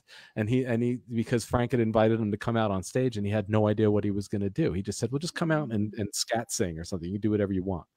And uh, and so I'm standing, I'm getting ready to go back out for the second set, and and Sting is there with me, and people in the dressing room, and he walks up into, to me and he goes, "What what on earth am I going to do? I I'm I have no clue what what to do. I, I'm like I'm I'm I'm terrified." And I said, I don't, you really don't have anything to worry about. If, if, if you just get out on stage Mm-hmm. and just let whatever happen happen, you're Sting. I think you're You're going to be fine. right. you know? Right. Yeah. And then you can hear on the Broadway the Hard Way CD what he did. He came out into this like Southern Baptist uh, preacher rant about Jimmy Swaggart. And then he started singing uh, "Murder by Numbers," which we didn't know what he that he was going to do that we Oh, were playing this other song called Stolen Moments, and thank goodness the changes of Stolen Moments work real good with Murder by Numbers too, because they're both basically blues tunes.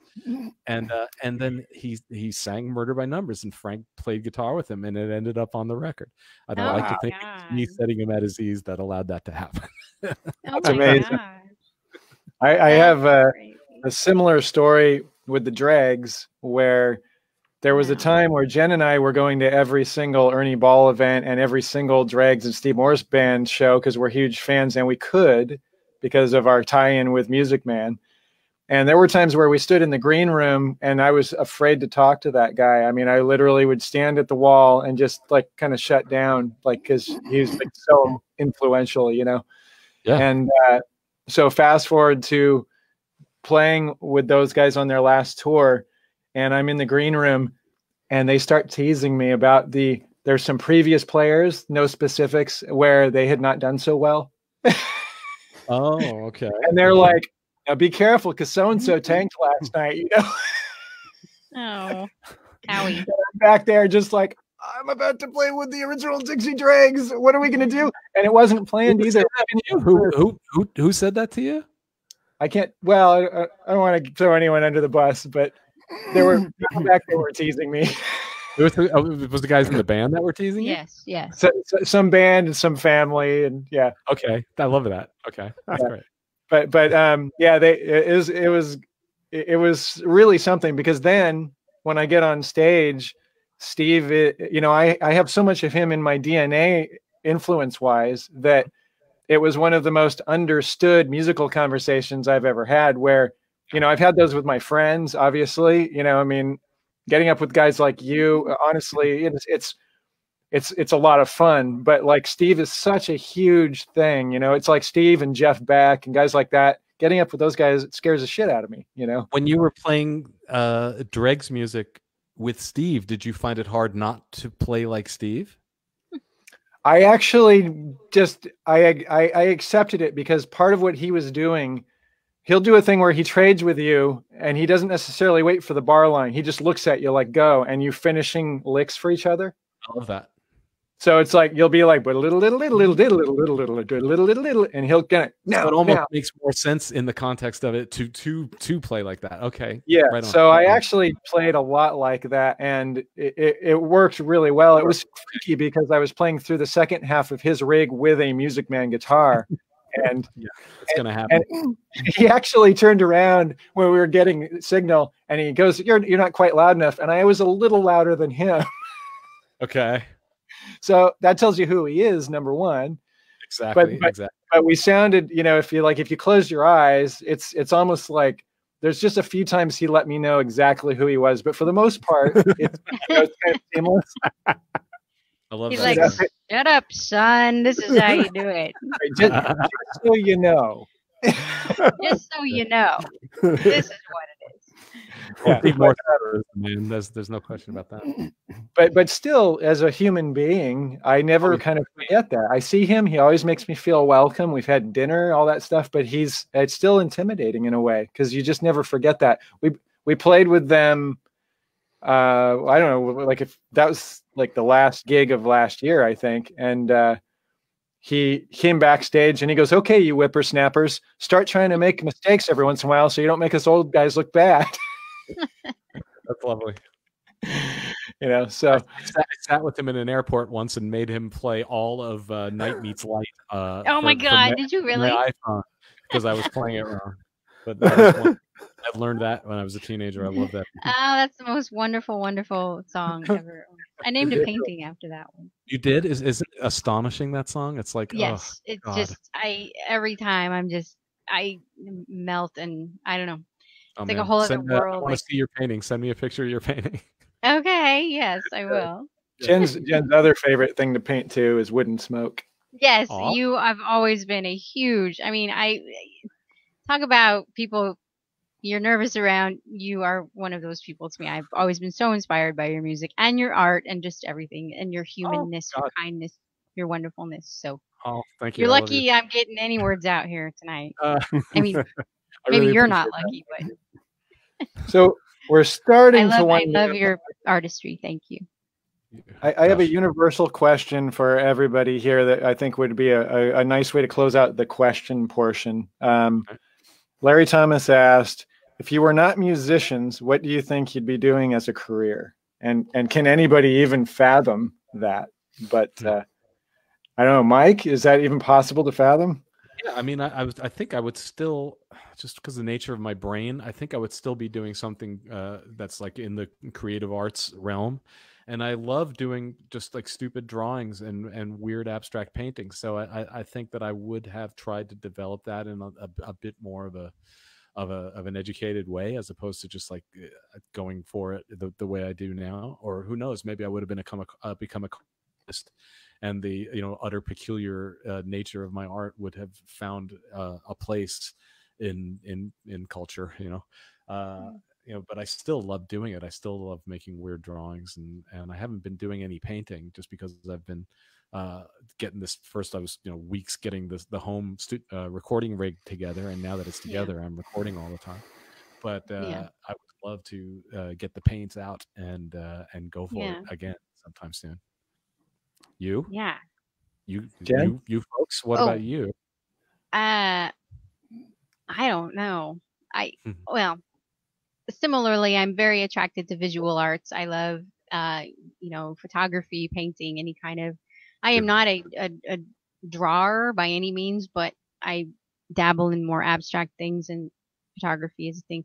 I don't know if I would choose that as a a career because I would, well, it's hard to say, but um, anything having to do with creating. I mean, even just I've often seen myself as just a a homesteader in a way, creating some sort of living off the land, you know, cre- uh, gardening, um, making things. So just creating on some kind of level, whether or not it was artistic, but making something. You like if, if fate had worked in a way that uh, drove you towards being like say a professional photographer, like maybe you're like the Lynn Goldsmith, where you're you're uh, you know uh, you're photographing uh, Keith Richards or whatever. Could could you? oh my imagine- god, I would. Uh, I really, really do love photography. It's just one of those things where you know nowadays. I mean, it's such an odd medium now because everybody has access to it. I mean, I guess you could say that about a lot of things, even the music industry. But there's just so, ah, you know, yeah. Yeah, everyone's taking pictures, but there are still Right. professional photographers who have like an eye for for doing That's things. true. Yeah. I love pho- photographing uh, live music. It's, yeah, one of my favorite things. Oh, Sorry, Dale. Oh. You you Uh. captured great shots of people on stage. Yeah. Yeah. Oh, cool. Thank you. I I was positioned to be an engineer, but I uh, and I'd already started to do some internships. But if I wasn't going to play music, I'd already started the realize that I would have enjoyed being a physical therapist more. But there's a lot of more school, so it would have been a tie between follow through, be an engineer, or go back and spend a little more time in school and be a physical therapist. That's Oh. the answer to that. Okay. It was it was going to be music and create or full nerd. All right. so there literally was there like a fork in the road one day? Um, yeah, it's when I met Travis and Jen. Basically, I Yeah. there's a there's a thing you do in your brain when you're doing uh, work intensive majors like engineering. It's hard to work and put yourself through school because there's so much studying involved, and and you rack up debt, and and and you you're aware of there's a point of no return where you're going to have to have a earning potential of this degree to pay off these debts, and and you know when you've passed that point. And I was right at that point where I'm like, okay, it's follow through time. I'm I'm going to be an engineer, and then I met Travis and Jen who were playing music like the kind of stuff I I had given up on finding people who were going to play music like this and well enough to really, you know, suck me in. And then I met them, and I I was right at that peak of it's almost unaff- you, you're going to have trouble paying off these loans now, and I just set it all down and started being a broke musician. And and you know the the rule of creativity is keep your overhead low, right? That's freedom. That's artistic freedom. And I had done the opposite. So so I just I I, somehow I didn't internalize that rule either. yeah, okay, yeah. Yeah. I walked right into the poverty lifestyle with uh, big student loans to pay, and uh, but yeah, it's interesting how much it was clear to me that this is something that I can't pass up. Also, Yeah. um, right on. so there. Trav. Um, I should be practical with the whole thing because obviously I would probably just be some kind of production. Like I'm sitting here right now working cameras and stuff, and you know, Right, yeah. if I if if I wasn't into music, but I wouldn't be into this stuff if I wasn't into music. And when I was little, you know, really little, I always thought being a mailman is a pretty cool job, right? cool. Nice. because because you're out there every day you're walking you're staying in shape you know you wear a pair of shorts you're in the element every day you're meeting different people and right delivering a Yeah. thing that people were looking forward to every single day. Exactly. Their mail. It's sort of like going on safari, but you're handing people letters all the time. Yeah. Right. and also i mean i know we're all you know through through decades of doing what we're doing we've become callous and fearless but if i was truly saying i need a job to survive and we're talking about what would you do other than music then i kind of think what would you do other than art of some kind Yeah. Right. so i'd probably be a mailman or a ups driver or something Yeah. Well, that's interesting. It, it, I mean, that, that you, you forced me to think, what if I, you know, literally had to make a living and not just, you know, sit around making drawings? And Yeah. I don't, you know, I guess I would just like try to find something locally, uh, like uh, get a job at a at a restaurant or I don't know, A it- it's- barista. yeah, it, it- a barista. There you go. Or, or uh, you know, I, I maybe I would be teaching. I, you know, uh, yeah. Yeah. And we've talked about this before. One of the reasons we have such a work ethic. Um, I mean, Jen grew up on a on a uh, a ranch basically. My dad was a commercial salmon fisherman and a 50 year union construction worker. So uh, my summers as a kid were uh, salmon fishermen. I know I know what work is. Like right, I right. know that what we do, as hard as it is, and you've seen us as hard as it gets. Like we talk Yeah. about the New York gig story, you know right, it's never as hard as throwing up all day and hucking chum into the water and and Truly reeling 60 pound fish you know That's that is empirically true. yeah and Yeah. Uh, and dale actually grew up in a logging town working logging uh, on in his summers so It's true. True. you know so so we all understand what real work is and and being musicians although it's it's real work but it's not work when you know the, the old saying you find something you love and you never work a day in your life i i mean i No I sleep how hard we work, no matter how hard we work on any day of our lives, we're very, very fortunate. I Yeah. saw a good meme that said, "Find, uh, find something you love, and you'll work harder than you ever thought you would have, and you'll be neurotic and insecure about it." something like that. I didn't do justice. but uh, but at the same time, you do truly love it, and Yes, are- right. you know, the vast majority of the workforce doesn't get home thinking, "Damn, I love my job." Unfortunately, you know. Right. so- Yeah. Yeah. So- and and to be clear, I love elements of it and the other things just like any job that's what people you know that are not necessarily in this world should always understand is you know you do spend 23 hours in front of a computer dragging little things around and doing stuff until your back is killing you and your neck hurts and you're just sick of it. And or you're in something where like you and I we're in an alleyway in New York where there's no parking. We're literally parked on a sidewalk loading gear into the worst club we've ever seen in our lives you know?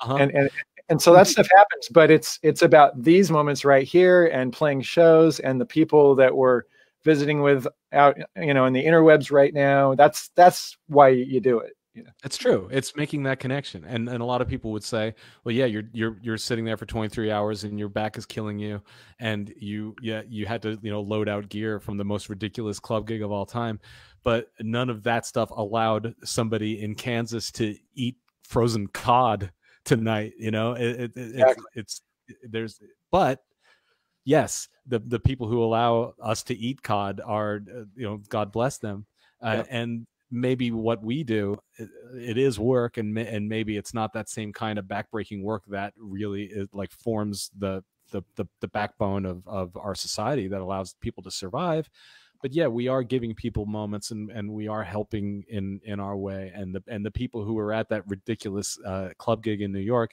had a night that they will never forget you know Yeah. so so Yep. that that stuff is pretty uh I'm I'm uh, you can only be grateful. I'm just I'm grateful to to be able to to be a part of moments like that. Yeah. well and we're all grateful to be parment apartment parments we're all grateful to be part of moments like that and part of moments like that with guys like you and specifically you know when we can so uh, on that note um, let's let's give you a second mike to tell people where they can find everything they need to find about mike keneally because mike keneally Okay. is a super genius and they should know about your music genius. genius Um, well, they can uh, go to uh, Keneally.com if if uh, if you know how to spell my name. That that one's easy to find. And if Mike uh, Keneally and the Beer for Dolphins. and, um, if they're interested in, in my CDs, there's an online store which is store.keneally.com. Um, I, I'm I'm on Facebook. I'm on Twitter. I'm I'm uh, more recently on Instagram, and I, I still find that a, a, a puzzling platform. But I, I, I occasionally do stuff. On there. Uh, but soon I'll be uh, starting a Patreon account, and uh, and we're we're just like putting the the pieces together, what that's going to consist of, and it's looking like it's going to be really fun. I'm sort of looking Cool. at, at at Patreon as like an ongoing. It's like the album that never ends. Oh, Uh, cool. and I, I I really want to look at it as like a, a an ongoing project that keeps getting. I don't know if you've have you seen Neil Young's website, the Neil Young Archives. It's the free No. coolest Yeah. website, and a lot of it isn't is not uh, accessible to you unless you're a subscriber. But I think during the lockdown, he might have unlocked the whole site for anybody who wants to go check it out. But basically, it's just like it's it's a rep- it. One of the graphics is actually like a huge, never-ending file cabinet that contains every Oh, one of nice. his songs. Uh, but there's there's there's a lot of different ways you can interact with the site. Uh, and I find it really inspiring as just a, a, place to go where basically this is me. So I'm I'm I'm curious to use Patreon in that way, and and I'm I'm going to be uh, uh, interacting a lot more with Bandcamp.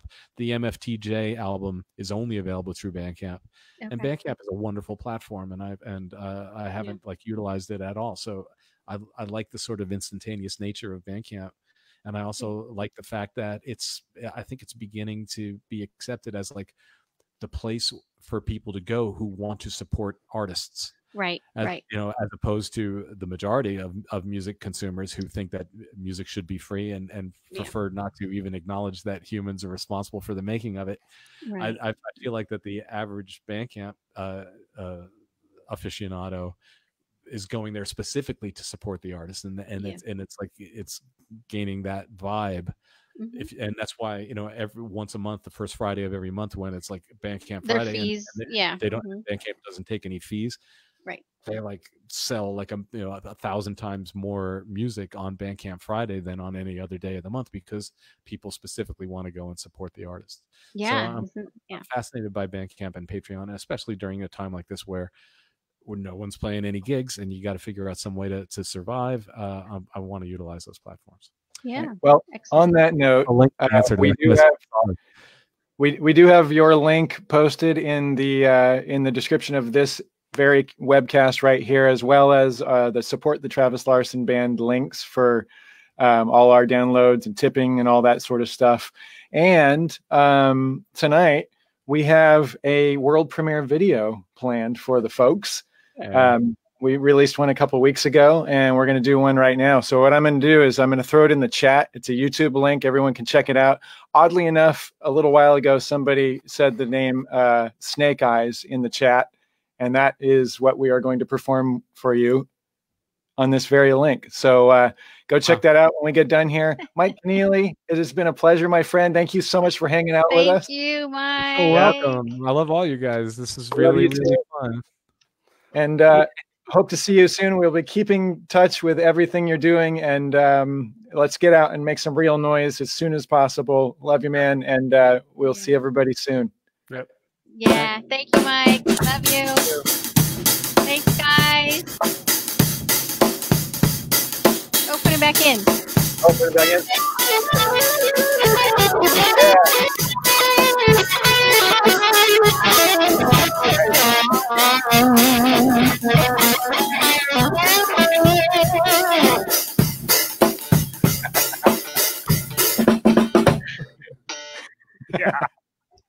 Bye. All right. Thanks a lot. eh? That's great. welcome. Okay. like if we do another one, maybe uh, you could do it. Well, slow down, eh? Okay, one at a time, right? Don't okay. push the guy. Yeah. eh? Okay. Okay. Sorry, but you know, like, thanks for this one. Thank you. And no sweat. Here we are. we are. He left, He left left. us. Good day. good Good day. day. Are we still still